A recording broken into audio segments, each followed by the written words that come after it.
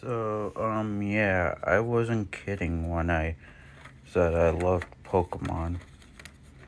There's one tin mini binder, whole,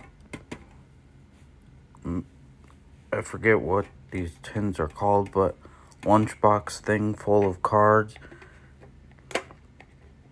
I have a couple vintage ones. I have a graded Raichu, and